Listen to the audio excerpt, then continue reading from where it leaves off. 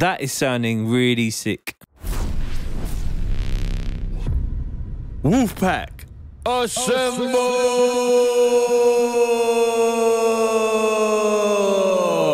What's going on? It's TC, and this is making foghorns in Vital. Firstly, if you're new to the Wolfpack, a very warm welcome, and if you're not, welcome back. And if you find any of the information in this video useful, please smash the like button. If you're not already part of the community, part of the Wolfpack, hit the subscribe button to receive notifications every time I upload some fresh new information. Also, don't forget to check out my samples and presets for Vital, Massive, FM8. Check out my t-shirts and the not these hats, other hats. Check out my t-shirts and hats. Follow my anthems playlist on Spotify. Follow my Twitter, Instagram, and Facebook. Links in the description. So I'm going to show you how I make foghorns in Vital. I'm going to try to. So let's go. So here we are in Ableton. I've got Vital loaded up here. There's an ethos behind making foghorns. I feel like the best foghorns I've ever made were using a simple analog synth like my Moog, plugging it into a channel strip or preamp and then distorting the preamp. And the Moog has quite a simple framework. It's literally two oscillators through an envelope generator and then into a filter. And with the Moog, you can attach the filter to the envelope generator. So I'm going to emulate that here. I would probably choose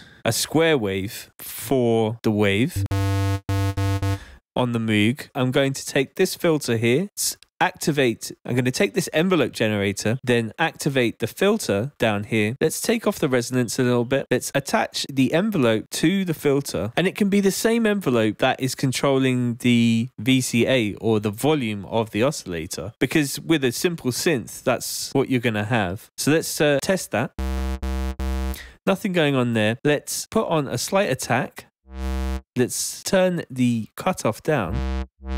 Let's take off the decay and the sustain to zero. Okay, so that's simple. We've got this wow kind of sound. Let's elongate the release.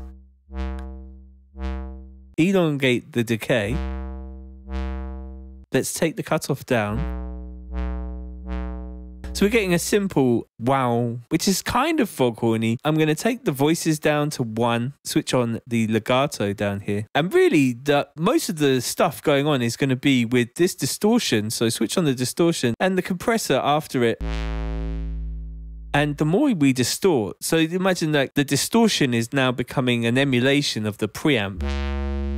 And with a good preamp, it's going to have distortion, but only in the low end. So I'm going to switch on this filter post the distortion, turn down the resonance and the cutoff down to about 200 or 300 hertz. I'm going to mix the two signals together.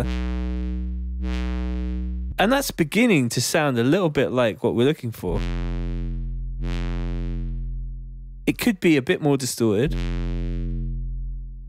There we go.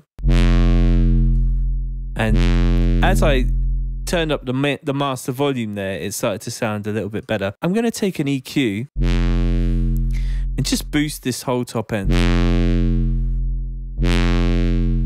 And I don't mind that it's going into the clipping here. That doesn't bother me. So that's a very simple start to making a foghorn bass.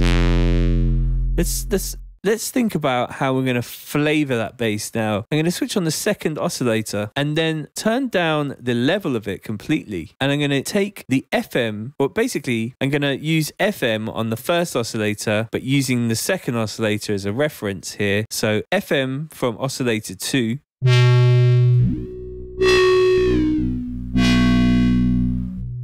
And if I take a slight amount of the envelope to that FM amount,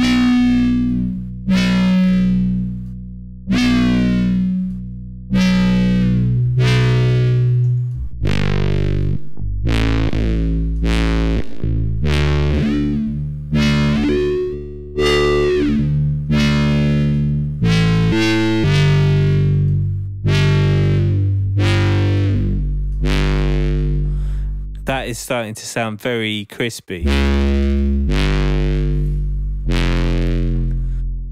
Let's just duck this a little bit on the output. Sounding nice. And And I could uh, mess around with these other controls here.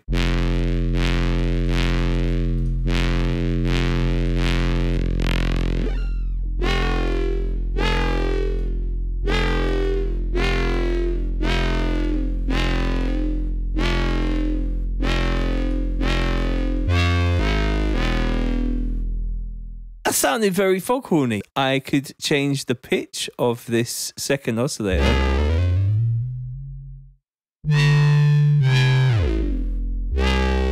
Or even the formant or the sync.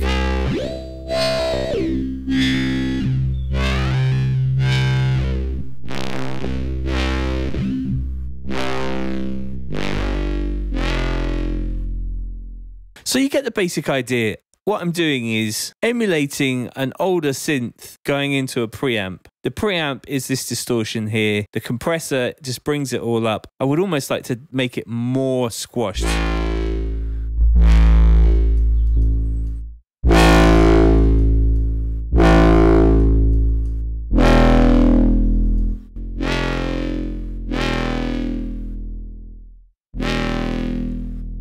Sounding very nice.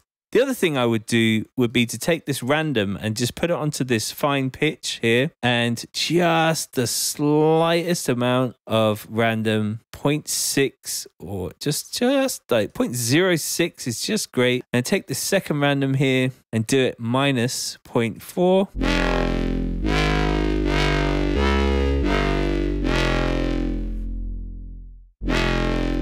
and then I think the last touch is going to be some reverb here before the compressor, but after the distortion.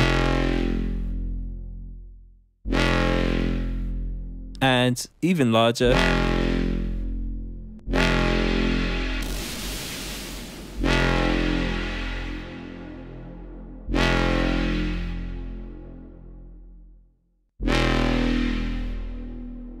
That is sounding really sick.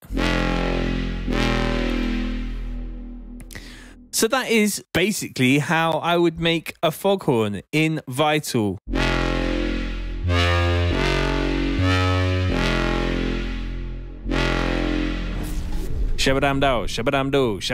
So if you found anything in this video interesting, please smash Smash that like button. Don't forget to subscribe. Hit the bell for notifications so that you can keep up to date with all this new from me. Let me know your thoughts in the comments below. If you have any ideas for future videos, I read all your comments and I try and reply to them too. Don't forget to check out my sites in the description below for samples and presets. They really are incredible value for money. £4.20. 420 dude. A massive big up to all the Wolfpack. Thanks so much for watching and I hope you found some value in this video. And I will see you you in the next video. Peace.